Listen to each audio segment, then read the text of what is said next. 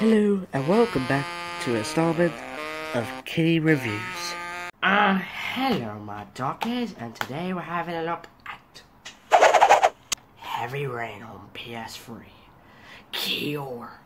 This game is absolute brilliant. They're all Quantic Dreams promotions. I mean, they made Carnation. Friend me, I forgot about that.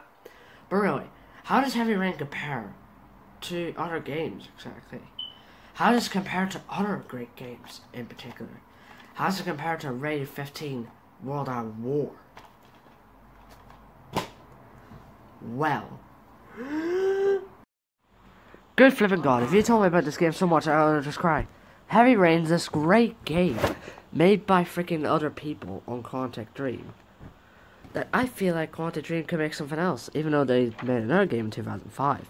Not Carnation. But seriously, Heavy Rain is awesome. Most people might disagree, but I think Heavy Rain's a great game compared to all the other games I played. Even though this came out in 2010, boy, it sets the bar up high. It sets the bar high for video episodes like this, or any TV show can rip off this game at all. They can seriously rip up this game. And even though it was only released for just PlayStation consoles, and in 2016 it got its own release on the PS4, I felt like it, then it came on PC in 2019 in June. So yeah, would you call it a PlayStation Classic? Nah, it's on PC, so it doesn't count. But yeah, Heavy Rain is awesome. And I definitely recommend to play it.